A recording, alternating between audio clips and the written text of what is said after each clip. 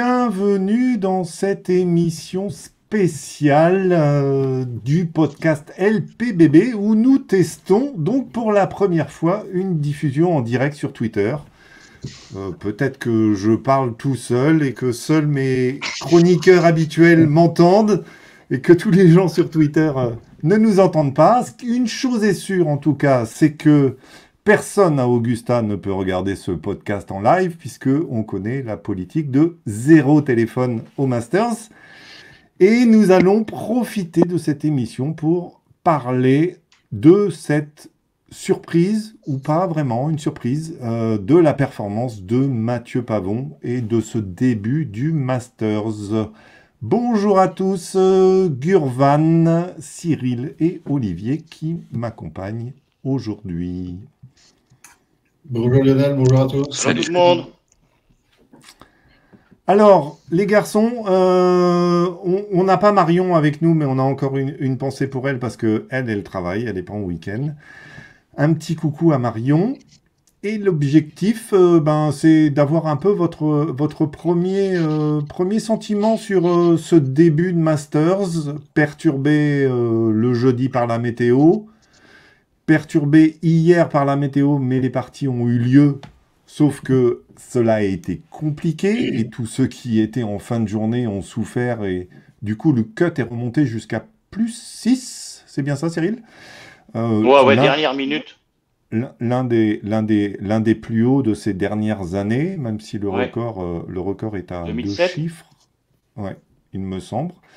Euh, votre sentiment sur, sur ce premier tour et ce deuxième tour, jeudi et vendredi, euh, Cyril? Alors, moi, j'aime bien. Bon, évidemment, le delay encore, là, c'est toujours un peu chiant. On en a de plus en plus. euh, pas, pas, pas qu'au Masters, là, cette semaine. C'est toujours un peu chiant pour nous, euh, spectateurs, les joueurs aussi, hein, ceux, qui sont obligés de se relever le- tôt le lendemain pour finir leur ronde. Mais, mais j'aime bien. Carnage hier, euh, c'est bien. Moi, moi c'est ça que je veux voir un peu, là. C'est sûr. Du coup, le tirage, il y en a encore qui n'ont vraiment pas été avantagés, mais au moins, euh, voilà, des, des, vraies conditions. euh, de majeur et puis et puis ce, parcours vraiment splendide avec des nouvelles prises de vue cette année là au drone où on voit les patrons marcher un peu partout. Bref, moi j'aime beaucoup, j'aime beaucoup cette édition. Hmm. Et, et côté, euh, côté on, on- on va parler général et puis on, on reviendra un peu sur, euh, sur les performances sportives, on va dire. Euh, Oui. Olivier, Ouais, non, une bonne impression, enfin voilà, d'une bonne, bonne réalisation. Euh, moi j'aime bien, je passe de- des bons moments. Et puis euh, voilà, on parlera du sportif, voilà, avec pas mal de surprises. Voilà. clairement, clairement. Euh, Gugu, toi, tu, tu- tu as eu le temps, tu as pris le temps de regarder? Euh, Ouais, alors on- on- honnêtement, je suis pas mal occupé ces deux derniers jours. Et demain matin, je suis en compète de golf, donc bonne nouvelle. Euh, non, euh, j'ai vu quelques, quelques heures, pas la totalité. Euh, pour l'instant, on va dire que le- c'est un Masters qui ressemble en tout point au Master habituel, sauf que là où d'habitude j'attends les top stars, elles semblent pas être là. Pour l'instant, en tout cas. Oui, Mais, c'est ça. mais des jolies images, voilà, l'ambiance habituelle, euh, un Tiger Woods qui passe le cut. Hmm. Voilà quoi. Donc euh, une édition qui remplit pour moi quelques, quelques critères et puis qui en manque euh, pour quelques autres. Mm. Pour l'instant en tout cas. Ok. Ok, alors, côté, côté sportif, avant de, avant de se focaliser sur, euh, sur euh, Mathieu Pavon, hum, là, Scheffler au rendez-vous d'entrée, c'est presque pas une surprise. Euh, maintenant, C'est pas du tout une surprise. non, c'est ça. Euh, même si on était quelques-uns à la fantaisie en espérant euh, créer euh, la sensation en n'ayant pas misé sur, sur Scheffler, mais je pense qu'on s'est fait avoir. Là, une petite surprise avec, avec Max Soma, euh, qui est pas, pas dans le talent du joueur parce que parce qu'il est présent depuis, depuis plusieurs, euh, plusieurs mois, plus, voire euh, quelques années maintenant, mais à Augusta, ça n'a pas été euh, jusqu'alors euh, une, une réussite. Et Bryson de Chambaud, meilleure carte du premier tour. Un Bryson qu'on a trouvé assez calme, sauf quand il se met à démonter le parcours pour pouvoir jouer ses coups. On le voit, ça faisait un peu Jésus quand même en train de porter sa croix là, Ouais. Bryson de Chambaud. Mais Vous, euh, voilà, sur, sur, ce, sur, ces, sur ces premiers, euh, premiers tours euh, des uns et des autres. Cyril Bah, Bryce, bah, bah, Bryson, moi, m'a réconcilié. Moi, j'ai toujours aimé le personnage, moi, mais, mais m'a réconcilié un peu. Je l'ai trouvé bien là. Je l'ai trouvé bien. Il a fait, euh, il a fait son mea culpa que l'édition où il a où il a morflé après avoir. De toute façon, c'est ça, c'est la malédiction de Augusta National. là. Dès que tu critiques le parcours, euh, euh, tu prends une claque. hein. On l'a vu encore avec Wyndham Clark cette semaine. Euh, il a osé. euh, non pouf dehors. Et quand il avait dit, tu sais, oh, bah, c'est un par 67, etc. Il l'a dit, il a dit, j'ai fait une connerie et ça arrive à tout le monde de dire des conneries dans, dans, dans sa vie. Là. Fait que là, euh, il est bon et puis euh, il est vraiment bon. La preuve, il est, il est au sommet. et, euh, c'est un parcours, euh, il maîtrise ses drives, donc euh, il prend énormément d'avantages euh, sur les autres. Attention, quoi, chez Fleur, c'est pas fait. Donc je suis content de le revoir. Il a fait aussi quelques gestes. Là, tu parlais de l'accro, mais quelques gestes typiquement des, des, des officiels, enfin des bénévoles, pour, pour demander à des mecs au, au fond du, du green, de je sais plus quel trou, de, de se tasser avant, pour qu'il puisse jouer, qu'il n'y ait pas de mouvement dans, dans son visuel. Donc tout ça, c'était beau. Moi, euh, moi, moi, il m'a réconcilié. Il m'a réconcilié, euh, Bryson. Et puis le reste, après, je, je, effectivement, comme disait Gugu, il y a des déceptions. Je pense que le tirage a joué inévitablement. Euh, ça a quand même morflé hier. hein. Les parties de l'après-midi, en, en- en- en moyenne, c'est quasiment quatre coups sur le parcours. Ça, c'est en moyenne. Et puis, euh, et, et puis c'est pas mal ça. Après, on parlera de- évidemment de, de, de la perte de Pavon parce que c'est une perte, euh, être dans le top 10 avant, avant d'attaquer le week-end. Et puis Oma, oui, comme tu disais, Oma, pour rebondir dans- sur les joueurs que tu as cités, là, donc euh, Oma, bah, c'est ça, euh, Augusta, ça n'a jamais bien marché, c'est seulement deux top 15 aussi en majeur. Hein, euh, donc là, de le voir là, moi, ça reste une surprise parce qu'on peut pas dire qu'il avait fait quand même un début de saison super fracassant. On se sentait capable, à part un, un T8 euh, le Palmer, c'est vraiment pas, génial. Euh, donc, euh, grosse surprise. Moi, je pense que, bah, regarde, si on va aller dans les Européens aussi, mais, grosse surprise de le voir au sommet, parce qu'on va parler des leaders. Clairement, un, petit coucou à. Matt, euh, le leader de la fantasy ou l'ex-leader de la fantasy, euh, qui, qui nous faisait un petit coucou. Euh, salut Matt. Olivier, toi, sur ce. Je vais, je vais en profiter, je vais mettre à l'écran le, le leaderboard, le leaderboard actuel. Voilà, avant, avant le, le départ du Moving Day qui a déjà commencé. Mais les dernières parties ne seront pas avant une paire d'heures. Ouais, est-ce que Mathieu, Mathieu Auberg joue à 20h15 heure française Mm. Et puis, non, bah, des surprises. Euh, je pense que bah, les Européens qui sont en tête, euh, je pense pas qu'on s'attendait forcément à ces Européens-là, C'est clair. avec clair. euh, Nicolas Hugard, Auberg et, Mathieu. Il y a Fleetwood qui est pas très loin. Euh, non, non, beaucoup de, de surprises. Enfin, Morikawa aussi qui est, qui est en embuscade. Mhm. Mm. Euh, je pense que ça va être assez ouvert là sur le, sur le week-end, ça va être très intéressant. Mm. Et puis après, dans la bonne surprise, euh, j'ai vu que Akshay Bhatia, qui s'est qualifié in extremis euh, dimanche dernier, en fait, euh, passe le cut et 30e. Mhm. Euh, voilà, petite déception pour, euh, pour Matsuyama qui passe pas, que j'avais mis quand même dans mes, dans mes deux. euh, Si, il passe. hein. Si, si, il passe, il passe. oui, Il passe. si, ouais, les derniers. Oui, Euh, finalement, ouais, Ouais, ouais. mais c'est ouais, C'était le bon. premier hein, le, départ ce matin, même. euh, le- le enfin, début cet du, partie, euh, ouais, le début du troisième tour est plutôt bon. Et là, il joue, évidemment. Ouais, ouais, Bon, ouais. il faudrait vraiment une grosse, grosse remontée, euh, grosse performance ce week-end euh, voilà, pour qu'il gagne. C'est ça. Voilà. C'est ça. Euh, non, non, des surprises. Enfin, voilà, dans les, dans les flops, euh, j'étais surpris par Dustin Johnson et puis Adrian en fait, qui joue plus 13, plus 14. Euh, ça, c'est un peu sévère. Puis, bah, déçu, déçu. euh, bah, voilà, je ne l'avais pas mis en favori, mais quand même déçu pour Rory. Ah, mais il n'y arrive pas, ce bonhomme. Ah oui C'est- quand même. Non, mais Ah, c'est quand ouais, même incroyable euh, de, de- de se gaufrer à ce point-là systématiquement euh, chaque Ah ouais, semaine ouais. d'avril, quoi. C'est- hallucinant, hallucinant. Moi, je j'arrive pas Ah à comprendre qu'on puisse dégoupiller à ce point-là sur un tournoi systématiquement. Et il va, il va nous jouer 67-67 euh, aujourd'hui et demain, mais il va finir à trois coups euh, dans le top 5. Mais c'est. euh, Non, mais c'est c'est quand même. Voilà, je. Enfin bref, il, il me dépasse, ce garçon. Et pas seulement parce que je l'ai joué à la fantaisie. il me dépasse. Alors, on en reparlera l'année prochaine.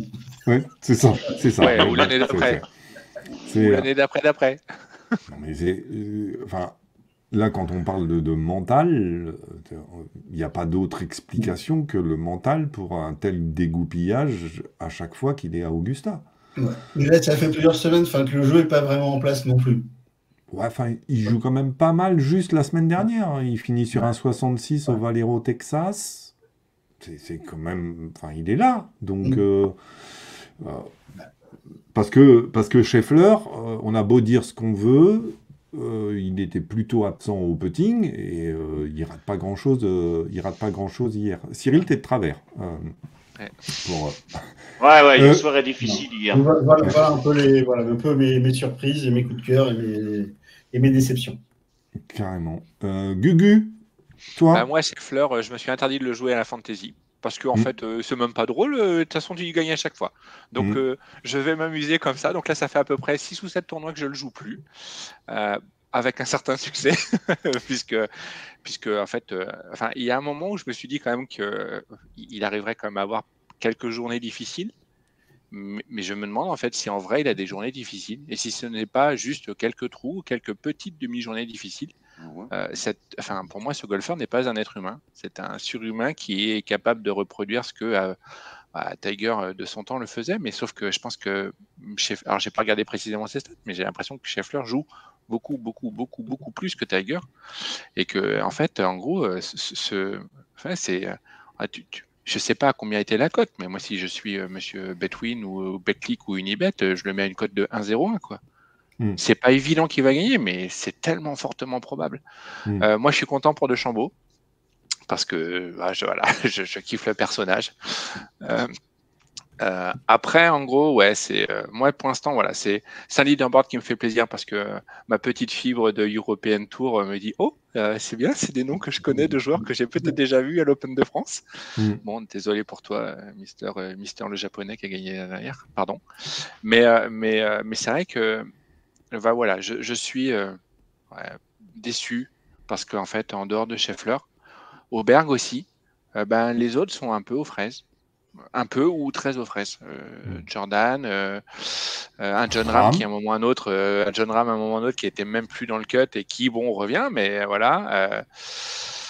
voilà, c'est pour ça que pour moi, le Master, c'est effectivement le tournoi où la plupart du temps, on a toujours les, les top top joueurs en, en haut du leaderboard. Et là, euh, voilà. Bon, bonne nouvelle, hein, on est qu'à bout de deux jours. euh, un Maxoma ou un Hochgard ou, euh, ou, ou un Morikawa peuvent prendre très très cher sur un petit Amen Corner dès aujourd'hui ou dès demain. Donc voilà, mais, mais pour l'instant, c'est vrai que voilà, Scheffler fait plaisir, les autres un petit peu déçoivent. C'est vrai. Moi, je, je, je partage ça. C'est, c'est, Heureusement, Mathieu est là. Voilà. Mathieu est là, euh, dans le top 10. Alors, je vais, je vais, je vais, je vais nous mettre, euh, je vais nous mettre ces deux cartes. On va, on va enchaîner, on va enchaîner avec Mathieu parce que ça reste euh, son premier Masters comme, comme Auberg, certes. Mais bon, Mathieu n'était pas encore dans le top 10 mondial alors que Auberg l'était déjà. Il a l'opportunité, enfin, il, il a, il passe le cut en étant sous le par, ce qui n'est pas arrivé euh, si souvent que ça. On a été interrogé un moment sur Twitter, il n'y a que euh, Mhm. Victor Pérez qui l'a fait en 2020 euh, lors d'un Masters au mois de novembre où on se souvient que les conditions étaient quand même favorables pour ceux qui avaient un, un bon jeu de fer, puisque les balles s'arrêtaient tout de suite sur les greens et donc il était passé en moins 3. Là, Mathieu passe en moins 1. Euh, déjà, c'est pas si souvent que ça qu'on n'a que 12 Français qui avaient joué euh, le Masters jusqu'alors. Pas tant que ça ont passé le cut. Je vais faire un mea culpa parce que le dimanche, dans le, podcast qu'on avait enregistré en amont du Masters, j'avais dit que Jean Vandevelde n'avait pas passé le cut, mais il l'a passé et il a fini euh, 19e. Il l'a passé, il a signé un 76, je crois, le vendredi. Il fait un bon week-end et du coup, il remonte euh, à la 19e place, qui est le deuxième meilleur résultat. Derrière le fameux Thomas Levé. Et là, on peut dire Tremble, Thomas, tremble, car ton record est peut-être en péril avec Mathieu Pavon, qui pointe à T8, c'est bien ça, euh, si je dis pas de bêtises, euh, T8 à moins 1, et donc qui va attaquer son Moving Day après deux belles journées. On va mettre ces, cartes à l'écran, même si en interview euh, post-round hier euh, sur euh, Canal+, il disait être fatigué, puisqu'il avait eu quand même une longue journée, il avait fallu qu'il termine son premier tour, et puis enchaîner sur un deuxième tour dans des conditions difficiles avec le, avec le vent, euh, mais euh, solide quand même. Solide. Messieurs. Quand même. Très solide. Hein, ça me rappelle Olivier. Ça me rappelle Olivier dans le dernier podcast qui, qui, qui rigolait lorsque Gugu avait dit euh, top, 30. pour Mathieu Pavon. Il dit Tu rigoles, ça sera beaucoup mieux que ça. Eh ben, bravo Olivier. Bravo. Tiens d'ailleurs, à toi la parole. Euh, ouais, ouais, bah, c'est bluffant dans la continuité, en fait. parce que c'est. comme euh, voilà, c'est la régularité enfin, du, du résultat, c'est la régularité du, du, process. Voilà, il, il enchaîne, enfin, il, il, a enchaîné sur, euh, sur 3 bogeys, 5, 6, 7, mais c'est pas le seul joueur qui a, qui a fait des bogeys sur ces trous-là. Ils ont été assez mmh. nombreux euh, hier. C'était les, les, trois, je crois, le passage le plus compliqué du parcours hier. Et puis ça, enfin voilà, ça bouge pas dans le process, ça bouge pas dans, dans l'attitude. Euh, c'est c'est fort. Enfin voilà, c'est il est vraiment, enfin il est vraiment à sa place quoi. Il est là où il voulait être et puis euh, puis il est là pour performer. En fait, il n'est pas là pour euh, pour témoigner, dire que j'ai joué sur le PGA.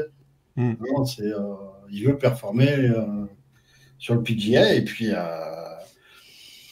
puis ouais, il, met toutes les conditions. Enfin voilà, il sait, il sait dans quelles conditions il performe. Là, il est, il est entouré de, ses proches, de sa famille, de ses amis, de, hmm. son staff.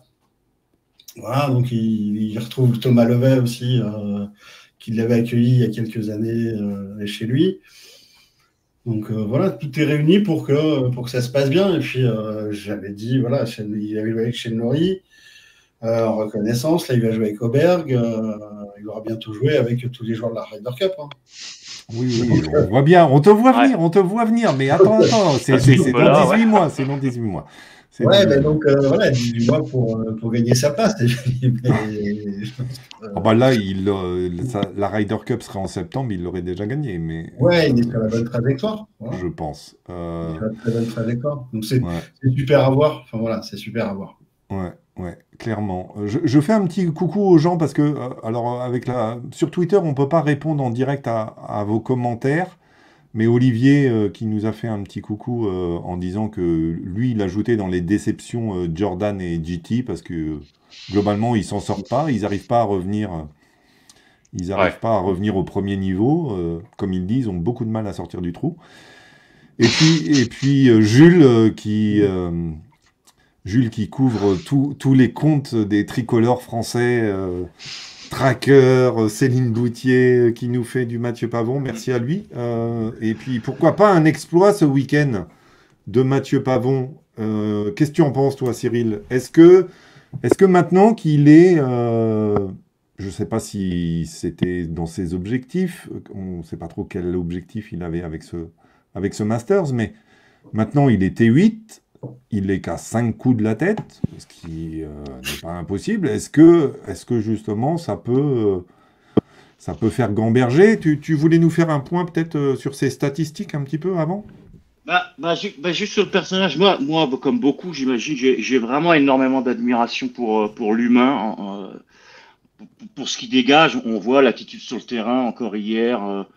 il a l'air très calme, l'aisance, puis il a des contractions lors de toutes les entrevues effectivement, les stats et les résultats qui parlent d'elles-mêmes, euh, il, a vraiment tous les ingrédients d'un grand joueur. Quand on le voit, moi, je me souviens, euh, ça doit être au, API, euh, la première ronde, il finit stroke gain sur l'été de départ juste devant McIlroy, devant les meilleurs mondiaux, quoi, sur, une journée. C'est-à-dire que sur un tournoi, tu vois que le mec est, capable, euh, dans une journée, de finir le meilleur du champ euh, dans un des secteurs de, jeu.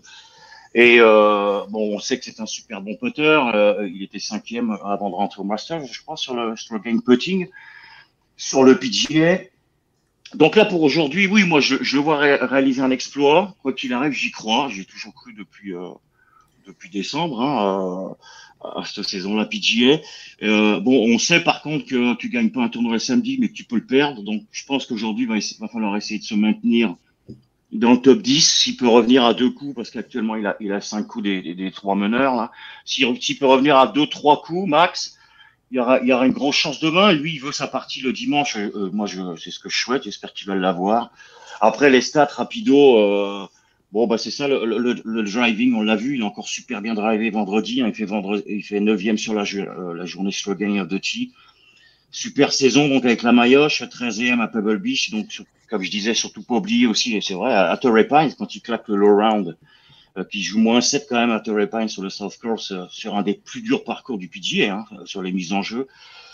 Euh, il finit 16e sur le slogan toujours. Donc le API, ça je le disais, euh, devant McIlroy, Scheffler, Cam Young, euh, toute gang, quoi, tous les meilleurs drivers au monde qui finissent. Ça c'était donc la, la, journée de, jeudi. Alors après, euh, les approches. Les approches, il est encore bien. Il est, il est là, par exemple, il est positif sur toutes les journées. Quoi. Sur le sur le tournoi, il fait 27e. Moi, je disais l'importance un peu quand j'ai balancé mes tips là de du Masters en, début de semaine, euh, que c'était important d'avoir un, bon striking, euh, striking. Il est là. Ça, on va pas s'éterniser. Oh, around the green, alors là, ça, ça, moi, ça me. Un peu comme Perez, je sais pas s'il se passe le mot, mais un peu comme Perez la semaine dernière, il est quand même dans ce compartiment. Euh, c'est, habituellement, c'est le secteur qui pêche le plus hein, pour, pour Pavon, faut pas se le cacher sur la saison, puisqu'en en moyenne, il est 44e euh, par tournoi. Euh, son meilleur, c'était d'ailleurs aux Players, au TPC Sawgrass, qui est aussi un des parcours les plus compliqués, où bah, c'est vraiment très très rare d'arriver à sortir avec un slogan positif sur ce genre de tournoi.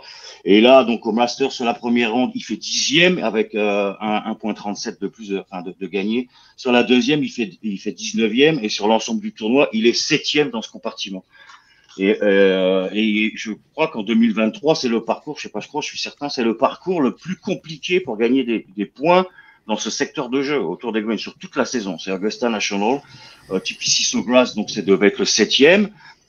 Et puis, euh, et puis voilà. Quoi. Donc euh, non, non, c'est euh, moi je pense que les stats sont là. S'il arrive à, il, il va garder. De toute façon, j'en suis convaincu son plan de match. Il a, il a encore remercié son cadet qui lui a apporté énormément cette semaine. Euh, le mettre dans les bonnes zones. Il n'a pas bouffé un seul double bogey. Il s'est jamais mis en danger. Oui, des trois potes, mais regarde, c'est Augusta, c'est sûr que c'est compliqué là. Surtout avec le vent hier, là, euh, ça c'est encore plus compliqué.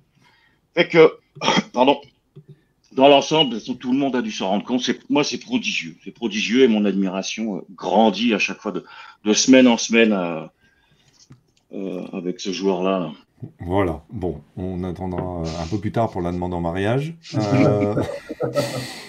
Donc. Euh... Oh ben, oui, oui, oui. Gugu, euh, Gugu euh, je vais en profiter euh, pour te passer la main et te poser une question parce qu'on a été interrogé sur, sur Twitter sur l'exemption alors de, de, Mathieu. Sa victoire, on sait que ça lui offre deux années d'exemption sur le PGA Tour. Mais par exemple, est-ce que Aujourd'hui, on sait que quand tu fais un top 12 au Masters, tu es qualifié pour l'année suivante. Hmm. Est-ce que euh, sa victoire sur le PGA Tour, ça lui offre euh, une exemption euh, pour le Masters l'année prochaine? Ah, Je ne crois pas, non. Non. Donc, donc... S'il y a une chose qui est sûre, c'est que le Masters ne fait pas les. ça n'agit pas comme les autres. Donc, non, non, en général, en gros, l'exemption pour le Masters, c'est ancien vainqueur, top 50. Et puis, c'est et, et, puis parfois des invitations. Mm. Mais euh, voilà, et donc en gros, top 12. Voilà, mais en dehors de ça, euh, on va dire ça que. Ça, reste, ça resterait donc un des, un des premiers objectifs, ça serait de finir dans le top 12 pour s'assurer une présence l'année prochaine. Alors, en, en, en, disons en vrai, s'il finit 15e, d'accord mais que. comment dire ça? Est-ce que quelqu'un ici a un doute sur sa capacité à rester dans le top 50 mondial en dehors d'une blessure? Bah, euh, c'est- d'ici à c'est ça, 6 mois déjà. ou un Ah an ouais. Ben, La Ouais. réponse est à peu près non. Alors, faut jamais dire jamais et tout peut arriver, mais Mm. dans l'esprit, sincèrement, s'il fait 15e ou 16e, euh, il y aura peut-être une petite, euh, un petit sentiment d'amertume ou de déception. Mais bon, on va dire que la probabilité pour qu'il soit pas dans le top 50 mondial euh, à fin décembre ou éventuellement vers fin mars me semble être quelque chose qui actuellement n'est pas envisageable. Voilà. Mm. En- Mm. Après, il a le droit de perdre son golf, il peut tout se passer dans la vie, mais dans l'esprit, euh, voilà. Donc, euh, un top 10 serait parfait. Voilà, et puis ça serait bien aussi éventuellement pour les points mondiaux. Le 10 serait parfait. non, mais non. Eh ben, non mais, non mais. Et On moi, est passé du cut au top 10. Ouais, c'est ça, voilà. Il Moi- moi- le top 10. Disons que, on va dire que, on va dire que ce parcours est quand même suffisamment compliqué. Je crois pas que le vent est prévu pour se calmer au cours des deux prochains jours. Et, et- et clairement, enfin, tu, enfin, prendre un bouillon au 12, euh, j'ai déjà vu des joueurs qui sont top, top, top classe mondiale euh, prendre cher. Et, et donc, en- en- enfin, quand tu regardes, on va appeler ça vite fait, euh, il n'est qu'à un coup du top 20. Enfin, il n'a que deux coups d'avance sur le top 20 et trois coups d'avance sur le top 30. Et clairement, je pense que je peux te citer tout un tas de trous où effectivement il peut les gagner. Il peut aussi les gagner, enfin il peut les perdre. Il peut aussi les Mm. gagner sur le champ. Mm. Mais voilà. Donc moi perso, le top 30 et s'il termine avec un top 5, top 10, ce serait bonheur total d'avoir eu tort. Mais disons que pour l'instant, en gros, euh, c'est un Mathieu qui, enfin, qui semble être comme, comme il était au cours des dernières semaines, à son aise. Euh, il semble jouer de manière. euh, Enfin, ce, ce parcours-là est quand même un parcours exceptionnel. Mais pour l'instant, il semble être joué normalement sur un parcours qui est un peu différent des autres. Voilà. Jusqu'à quand Ben, Espérons que ça soit jusqu'à dimanche soir ou lundi matin s'il y a besoin. Et puis euh, voilà. Mais, euh, mais moi, il me surprend positivement, mais on va dire ça. J'ai pas envie de trop m'emballer parce que, enfin voilà. Non, mais je m'emballe pas, mais je pense qu'un top 5 est jouable. Ah, ben, Mais, sa- sachant que tout est possible, mais voilà, mais je pense, euh, je pense que le top 5 est jouable. Alors, Oui, c'est pour oui, ça oui. que- oui. C'est pour ça que tu, tu n'entendras jamais, euh, jamais, on va appeler ça dans, dans mes, on ça dans, dans mes sentiments, le fait de garantir qu'il ne fera jamais un, un bon score ou Mm. une bonne position. Ouais. Mais disons que je pourrais, enfin, ouais, je, je suis personne, mais je pourrais accepter le fait que pour une première fois, et comme Mm. d'autres stars ont foiré auparavant, ils puissent prendre euh, euh, deux punching ball euh, au 12 euh, un Il dimanche va lui soir. alors porter la Shkumun, Gugu, Ouais. tu vas voir. Et- c'est c'est ça, ça, c'est l'esprit européen versus l'esprit américain, là, que Kevin en parlait là-dedans. Il va pas nous maudire ça, va pas nous maudire sa game, là. C'est la Rest to Dubai en logo là, hein, d'accord. Donc non, mais après voilà, c'est. Mais non, je lui maudirai rien. Je pense qu'il, il- je crois, je crois que sincèrement, il a pas. Voilà, moi, je de touche du bois, tu me fais peur, là, putain. Mais non, mais non, mais enfin, une fois de plus, hein, c'est-à-dire que je pense qu'on peut, on peut parler à une certaine euh, followeuse qui nous suit beaucoup sur Twitter et, euh, et- et dont le surnom est la reine, euh, qui, est, qui a dû voir euh, ben, un top joueur mondial dont, dont le nom s'appelle Jordan ou éventuellement Justin euh, prendre cher et très cher d'un coup. Non, mais c'est sûr. que- Ouais, mais là, le- c'est. c'est- Ouais, c'est diffé- c'est- c'est différent. Ouais, non, mais c'est des Non, Américains. Ce sont des Américains, c'est pour ça. C'est ça, ils n'ont pas le mental, eux. Non, Euh, mais c'est même pas le mandat, c'est c'est le jeu. Tu sais, Jordan, regarde, on voit ce qu'on produit là. euh, Oui, il est dans son jardin, mais euh, franchement, euh, Après, après jamais, de a- la vie, a- jamais de la vie, je l'aurais mis. Hein Il y a, il y a aussi le fait pour ces joueurs-là d'être à haut niveau depuis longtemps. Euh, tout ça, c'est Mathieu profite et encore dans une période de découverte aussi. Euh, donc euh, avec une forte envie, c'était son rêve. c'était donc tout ça, ça contribue à, à- à le mettre sur un, un bon mood en fait, où il est il est à l'aise, il se sent bien, il est heureux d'être là. Enfin donc tout ça doit contribuer.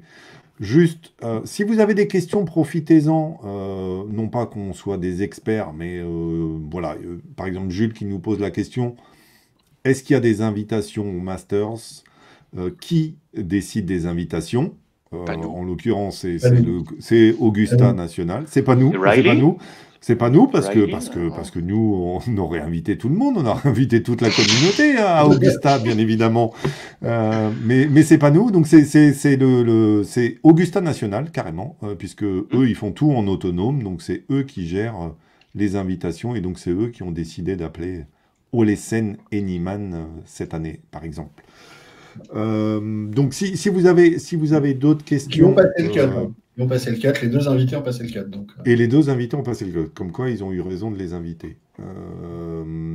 alors, aussi, déception, on en a parlé avec Ram, mais c'était juste pour redire un petit mot sur, sur l'épisode qu'on a enregistré avec JS Légaré euh, qui nous expliquait la difficulté euh, de maintenir, euh, de garder son titre, parce que énormément de sollicitations en amont, ce qui faisait qu'on n'avait pas vraiment le temps de se préparer et de se mettre dans sa bulle pour démarrer le tournoi.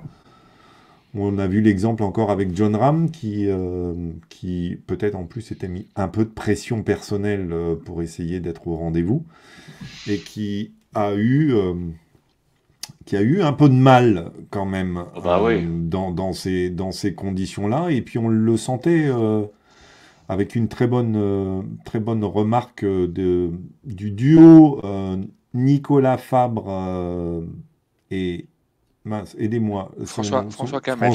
François Calmels qui on faisait la remarque qu'il était limite à, à, péter les plombs assez facilement, ce qu'avait ce qu'avait dit Olivier, que c'était un peu son travers d'ailleurs.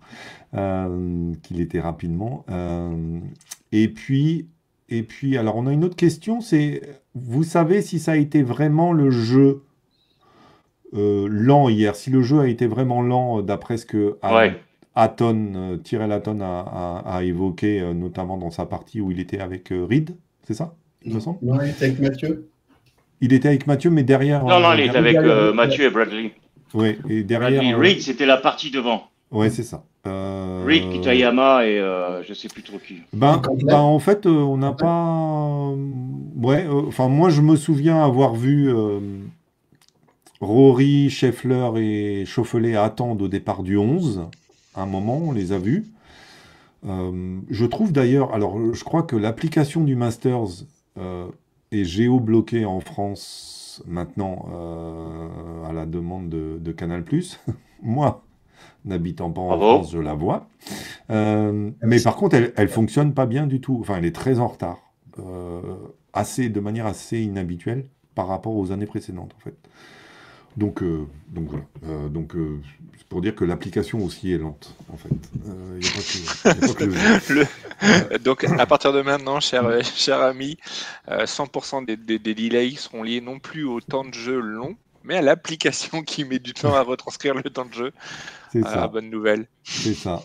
Donc, euh, donc Mathieu Pavon, euh, on va finir. Euh, s'il faisait à peu près un top 5 mondial, il serait pas loin du. Pardon, s'il faisait cinquième à peu près tout seul, il s'approcherait très fortement du top 15 mondial. Mondial, d'accord. Sachant que le record, c'est Victor avec 17e, c'est ça?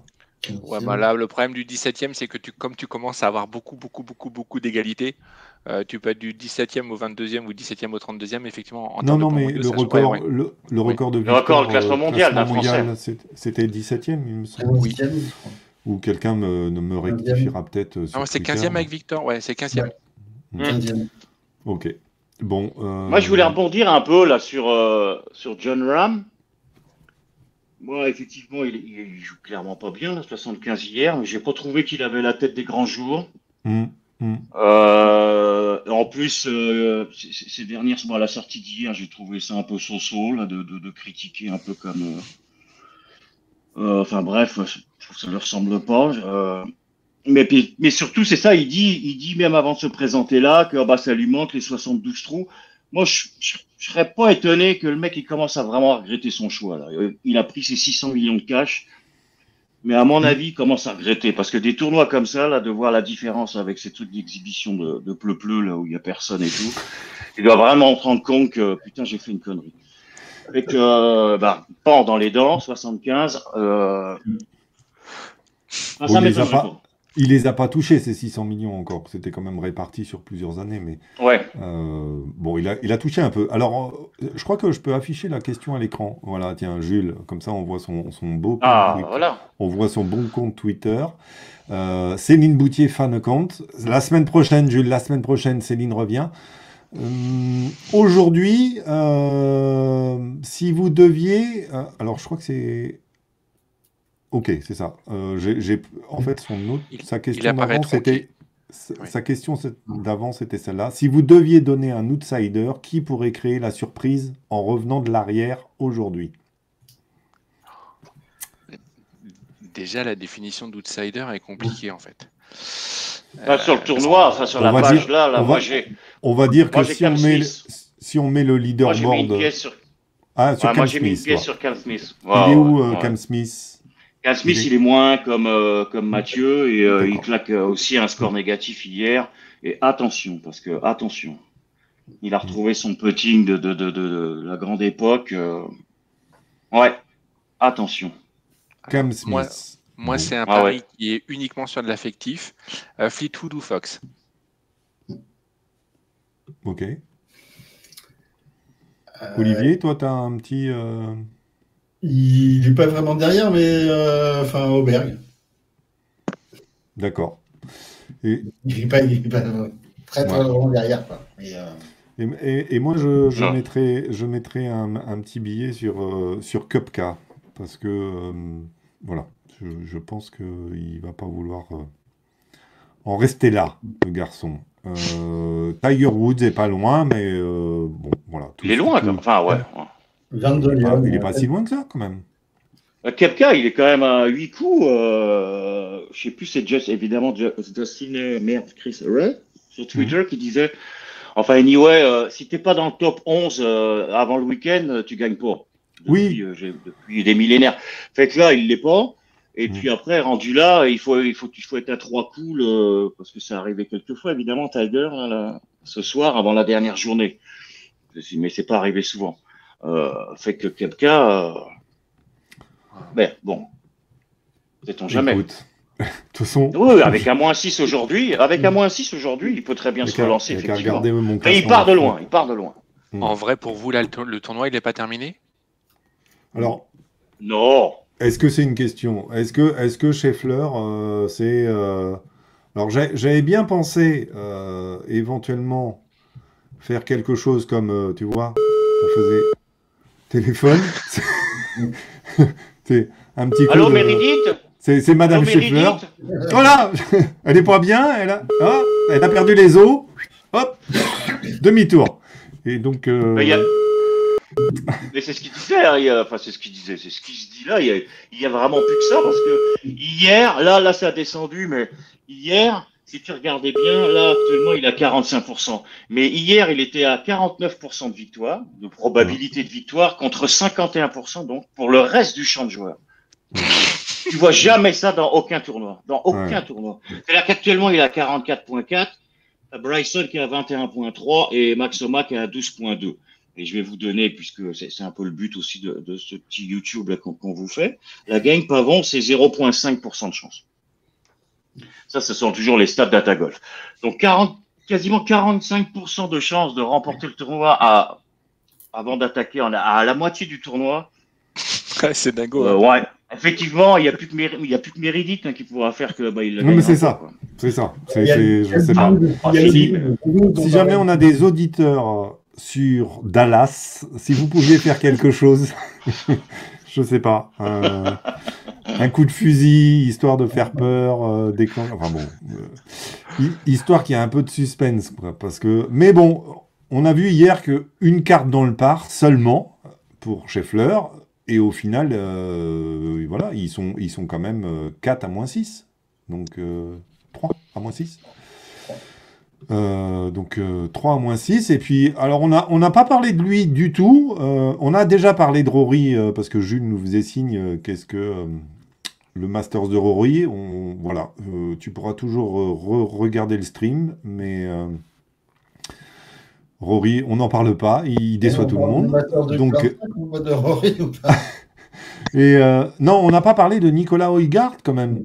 Euh, alors, je parle pas de Danny Willett qui était, euh, qui était sur un nuage jusqu'à son triple bogey hier euh, pour finir, mais Nicolas Oygaard, euh, plutôt une, une belle surprise et puis une, une, une partie sympa aujourd'hui quand même, parce que c'est lui qui joue avec le numéro 1 mondial en avant-dernière partie.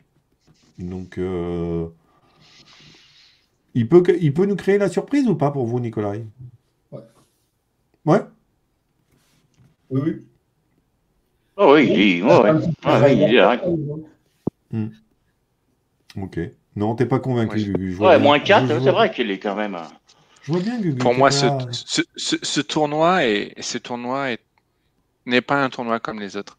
Je le mets en même position sur un British Open et un US Open, sur ce que tu veux, il n'y a pas de problème. Mais j'ai l'impression que ce, ce- ce- ce tournoi euh, est, est capable de faire disjoncter, on va appeler ça tant des très bons que des novices. Et, et je crains, euh, je, je crains à chaque fois pour euh, des Auberg, des Hochgard, des Pavons. euh, le, on va appeler ça le. Il y tient, hein, Gugu, à son. le- le- c'est un- Hein Non mais non mais sais pas. Euh, Gugu. euh, mais c'est sûr qu'il y a toujours le risque. euh. Non, mais tu vois, même moi qui connais rien à l'histoire de ce sport, Mm. rien, eh ben, sur ce fichu, sur ce fichu tournoi, des, des- des accidents industriels, j'en connais. Donc euh, voilà, donc euh, j'ai l'impression Ouais. que c'est un peu une râpe.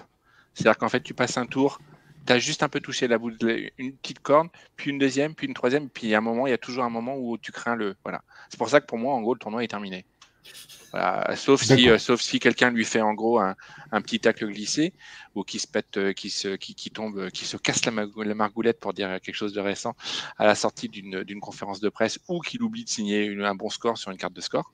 Hmm. Euh, en dehors de ça, en fait, je, je- voilà.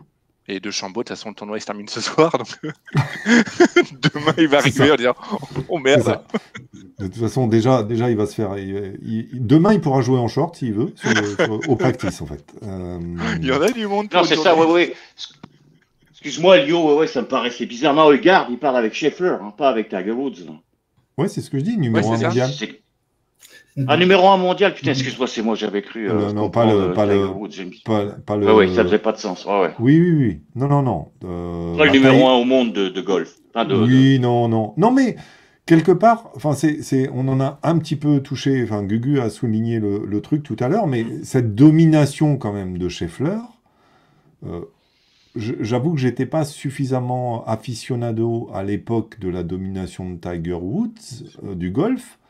Mais euh, ça devait être un peu pénible quand même à regarder euh, le golf quand, quand- quand- quand le ouais. garçon. euh, tu sais, c'est un peu comme maintenant, euh, tout le monde les- tout le monde va s'intéresser au LPGA et puis il y a que Nelly Corda qui gagne. Alors euh, globalement, ça va être un peu pénible euh, à regarder. Ouais, mais C'est plus simple après pour les quiz.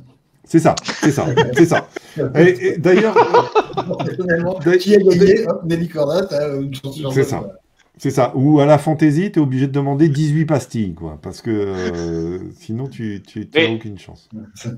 Mais c'est ça qui est encore plus impressionnant quand tu regardes bien, parce que regarde, Scheffler est parti, là, euh, bon, ben, actuellement, on a, on, on a des mecs comme Ram ou, ou non, c'est trois seulement, mais à quatre victoires par saison, déjà, tu te dis, putain, les mecs sont quand même ultra dominants. Ben, quand tu penses que Woods en a, en a gagné neuf sur les 20 tournois qu'il fait en 2000, Mm. là, tu vois vraiment ce que c'est une grosse domination. Et là, on, on est, on est, et à juste titre, on est abasourdi par les, les pères de Scotty, là, parce que clairement, on voit qu'il n'a pas, il n'y a, il y a pas grand monde pour rivaliser, à part lui-même, tu sais, dans, dans, dans, son jeu. Mais euh, donc, ça remet encore plus en, en, en perspective la perte de, de- des années 2000 de, du gros chat.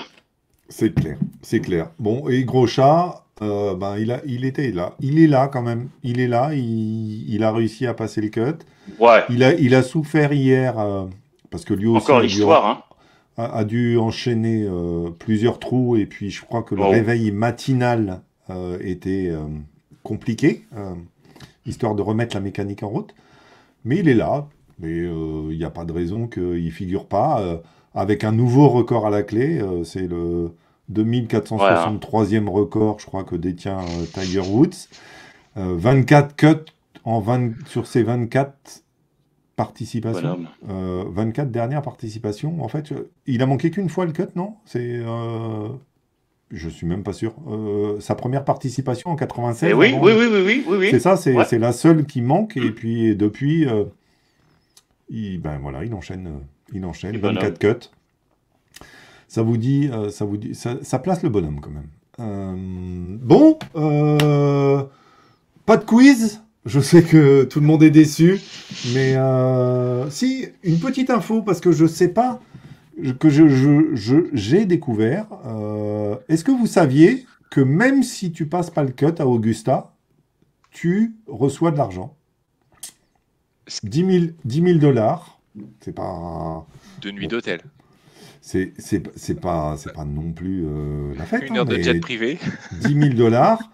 Alors, ce qu'il faut quand même savoir, c'est que sur la semaine du Masters, Augusta rafle 70 millions de dollars avec la vente de ses marchandises, de ses sandwichs, de ses...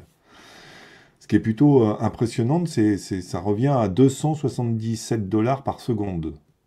Ça s'explique très bien quand tu vois leur politique tarifaire Oh. sur, euh, sur, sur, sur ce que tu vois affiché sur Twitter. C'est-à-dire que quand tu vas dans un tournoi où les mecs pourraient te vendre probablement euh, un genre de croque-monsieur à 15 balles et qu'ils te les font à 3 dollars, alors c'est peut-être hors taxe, mais bon, on va dire que ça passe à 4, euh, euh, voilà, tu as un respect du client. Donc euh, quand tu sens ça, je pense que c'est plus facile de se dire en gros que tu vas claquer des milliers et des cents parce que justement tu as l'impression d'acheter un bon prix quelque chose et Mhm. pas juste d'acheter une petite marque à la couillon, même si c'est au, fi- au final c'est une petite marque. euh, Mais, mais tu, tu ne payes pas que la marque, tu payes surtout un, un respect. Donc euh, c'était, euh, enfin voilà, c'était la, la petite, euh, la petite info du jour. Euh, et puis à propos de ces sandwichs, euh, c'est aussi la particularité, enfin j'ai lu ça euh, quelque part, euh, du, du fait qu'ils sont disponibles uniquement cette semaine-là au Masters. Enfin, ils essayent pas d'en faire un business par Oui. ailleurs en dehors du Masters, etc. Et donc, euh, donc voilà. Et, et pour montrer qu'on n'est quand même pas sur le, le même tournoi que les autres, euh, il y a en gros 1500 jets privés euh, qui sont stationnés à Augusta pendant la semaine du Masters. Euh, voilà. Et c'est c'est 3000 euh, 3000 dollars le stationnement. Ça en Alors. fait du CO2. Ouais. Donc voilà, c'est des, des- des petites infos qu'on a pu collecter à droite, à gauche. Euh, vous êtes plus de 100, alors je sais pas, je pense que ça doit être euh, le total qui, qui, qui se remet pas à zéro en fait. Je pense que Merci Jules de a- t'être déconnecté, reconnecté c'est ça. 50 fois. Je, je- je pense qu'il y a, et puis euh, il y a Marion qui a allumé tous les ordinateurs euh, du, du golf des Trottas. Euh, pour... mais, euh, mais en tout cas, c'était bien sympa. Euh, merci euh, de nous avoir suivis. Merci, merci de, de vos questions. et puis j'espère que bah, qu'on aura l'occasion de, de refaire ça parce que c'était un petit moment bien sympathique. Euh, je- nous vous souhaitons un excellent Mm. week-end, une très belle fin de Masters. Et puis, allez Mathieu Allez, oui. Top 5, top 5. Top 5. À bientôt Bye bye la À gang. bientôt, au revoir. Petite musique. Tu, tu, tu, tu, tum, tu, tu, tu, tum.